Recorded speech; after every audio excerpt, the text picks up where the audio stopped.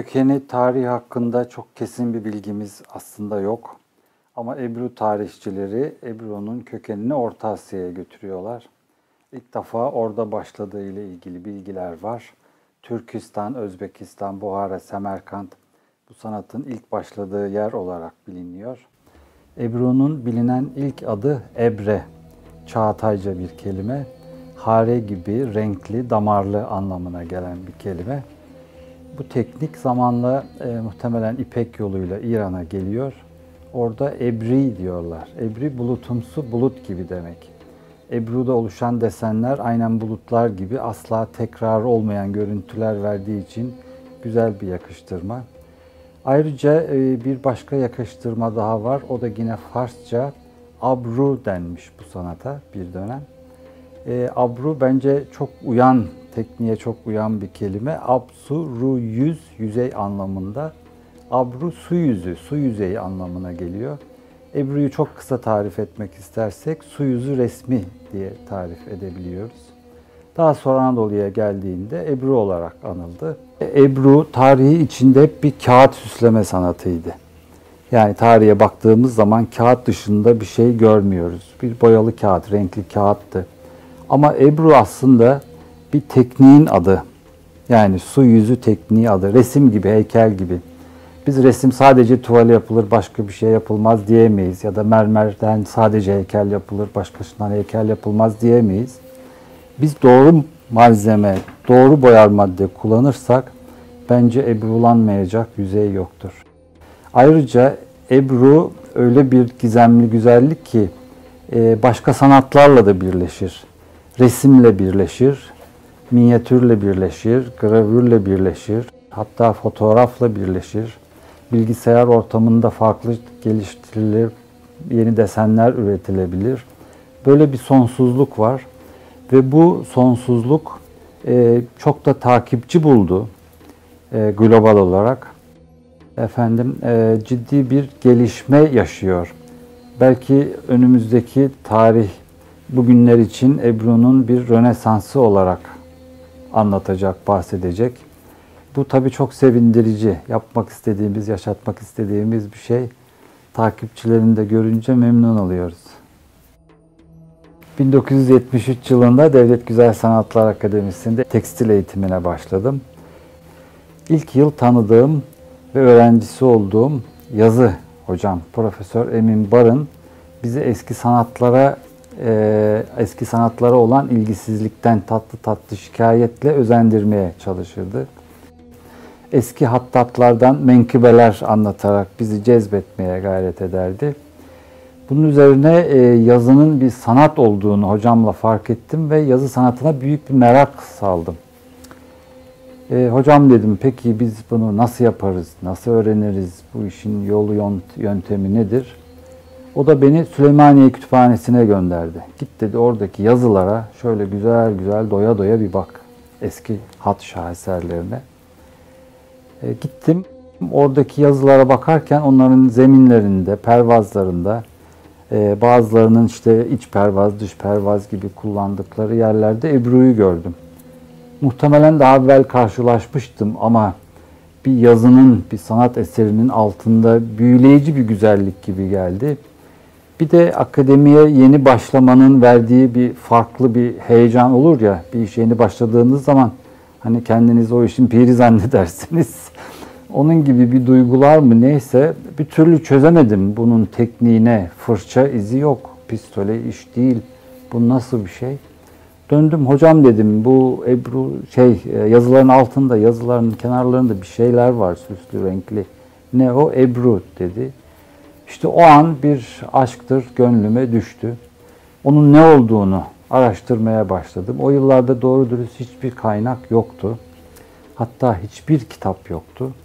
Daha sonra 1977 yılında bir kitap yayınlandı. Sadece bildiğim tek şey su ve boya. Suyun üstünde yüzen boya. Kendi kendime çalışmalara başladım. Tabii ki akademide talebe olmanın verdiği büyük avantajlara sahiptim. Renk bilgisi, boyar madde bilgisi, estetik bilgi. Elime geçen her boyayı suların üstünde yüzdürmeye çalıştım. Tabii çıkan şekillerin hiçbiri daha evvel yapılmış olanlara benzemiyordu. Alakası, ilgisi yoktu. Fakat bir sürü farklı görüntüler ortaya çıkıyordu. E, aradan iki sene geçti. Bilim ve Teknik Dergisi'nin e, Mayıs sayısı, 1975 yılı Bilim ve Teknik Dergisi'nin Mayıs sayısının kapağında bir fotoğraf var.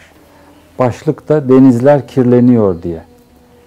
O fotoğraf benim yapmaya çalıştığım ebrulara büyük bir benzerlik gösteriyordu.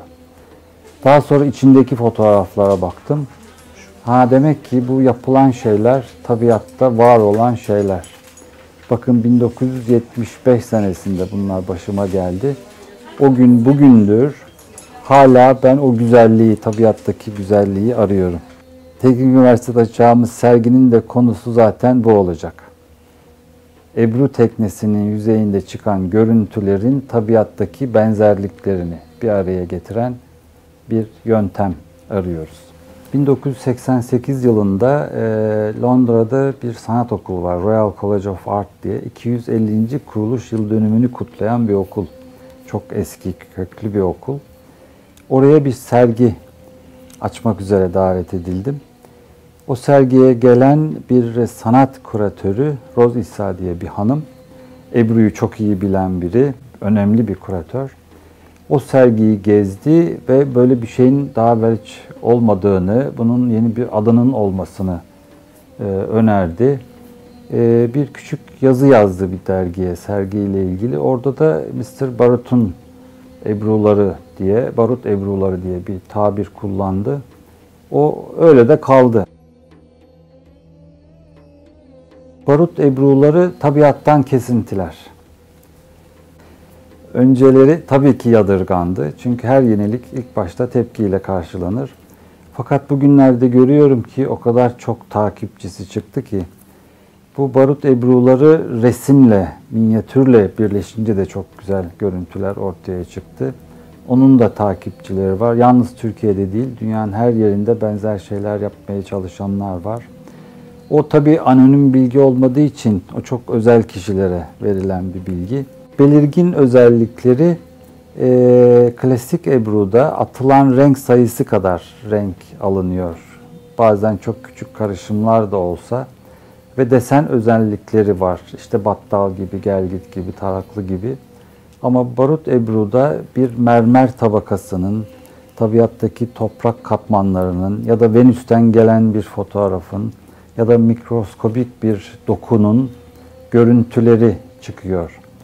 Renkler de e, birazcık e, kontrolsüz olarak birbirine karışıyor ve ara tonlar çıkıyor. Dolayısıyla sonsuz bir renk armonisi ortaya çıkıyor. Boyut olarak da farklı boyutlar yapmak mümkün oluyor. İşte başlıca farklılıkları geleneksel Ebru'ya da bu.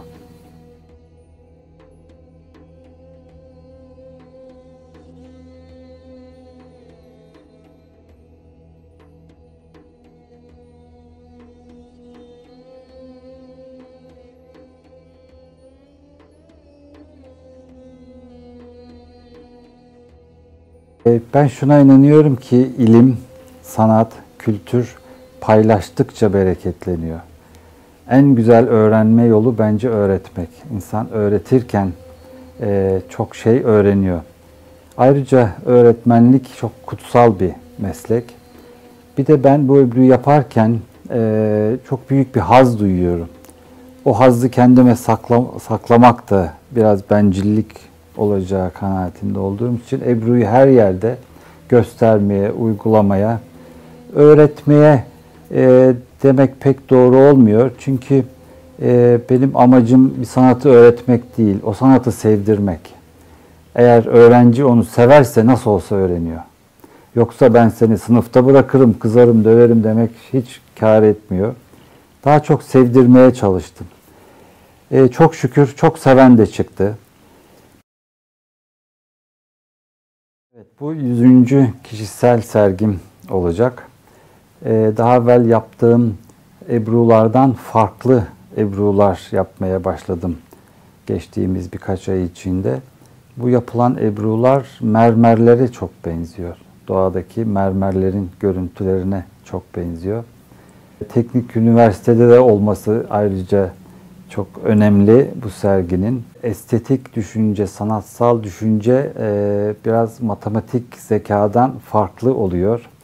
Teknik üniversite gibi bir yerde e, öğrenciler e, farklı bir şekilde düşünmeleri, daha estetik, daha hayal gücünü kullanan bir şekilde yani her zaman 2 artı 2 4 etmiyor.